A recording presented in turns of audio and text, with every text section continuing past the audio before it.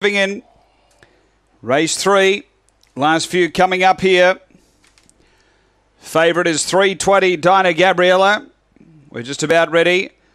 There's a signal. We're right to go. Heat two of the Open Maiden Series, ready to run.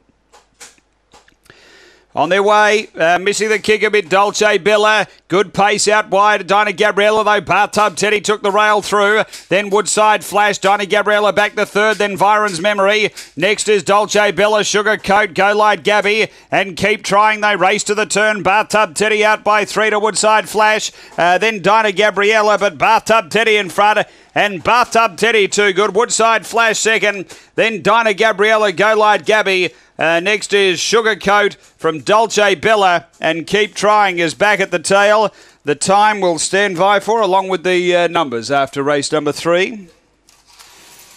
The third on the card, uh, number one, Bathtub Teddy. Uh, has been too good here. Graham Brown, Deborah Stupas, a black dog, March 2014. All is cool. Grump